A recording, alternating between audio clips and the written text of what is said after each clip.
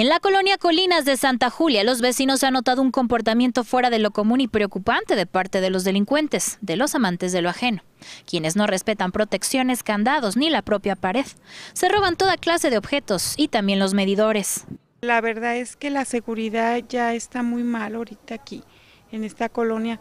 Ha habido muchos asaltos, incluso ya los medidores se los han robado de, de varias casas de aquí, incluso han hecho hoyos en las paredes.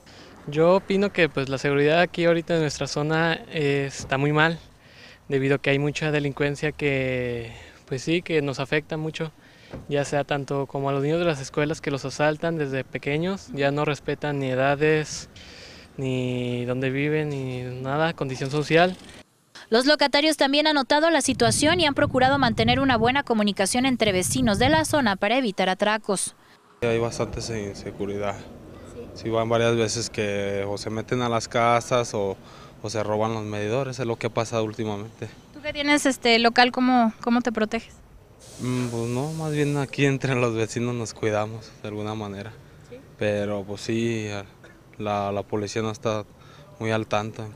Desanimados, estos vecinos aseguran que hace algunos años la colonia era aún muy tranquila y apta para educar a sus hijos. Con imágenes de Daniel Olvera, Susana Galván, Noticieros Televisa.